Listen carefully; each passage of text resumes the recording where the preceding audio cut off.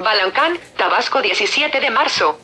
Contra todos los pronósticos, hoy el Partido de la Revolución Democrática es ejemplo nacional de unidad, madurez y cohesión, gracias al comportamiento ejemplar de sus aspirantes y militantes quienes por encima de intereses personales o de grupo han privilegiado el del partido, aseveró el candidato del Partido de la Revolución Democrática al gobierno del Estado Arturo Núñez Jiménez, reunido con comités de base de Balancán y Tenosique.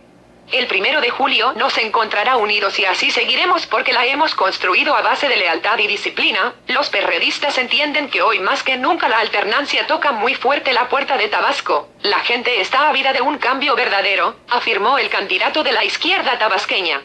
La alternancia está madura y la vamos a alcanzar, remarcó al agradecer a todos sus correligionarios las lecciones y señales de madurez, organización y comportamiento que transmiten a la ciudadanía harta de la corrupción, malos gobiernos y luchas intestinas que tanto daño han hecho a Tabasco por más de 80 años.